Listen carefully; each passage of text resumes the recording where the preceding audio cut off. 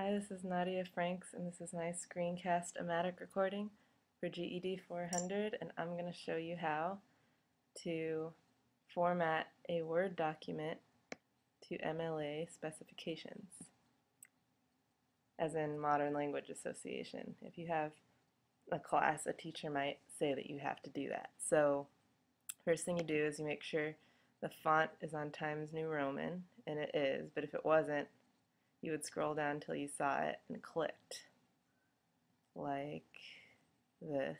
And I just hover over the arrow to get it to scroll. And this is the Mac version of Word. If you're on a PC this might be different. And then you under font you make sure it's on 12 and it is and then you go over to this thing right here where it says line spacing. And you put it on 2. That means double spaced. And you go to document elements. And click on header. And I'm going to click basic. And for MLA you should right justify it. So You can do that by going back to the home and right justify. And then that was that right there. And then type your last name. And then go back to document elements and click page number. And it says right, which is correct. And you say OK.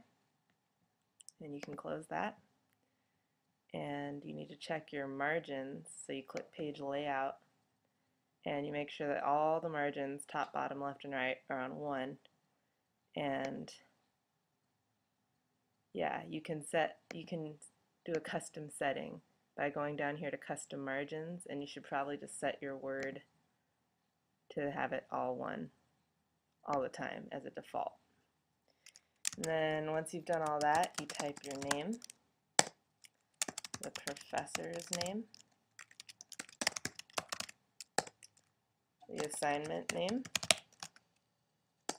and the date. And the date has to be formatted with the number first, then the month, no comma, and then the year. And now you are ready to begin your MLA formatted assignment. Thank you.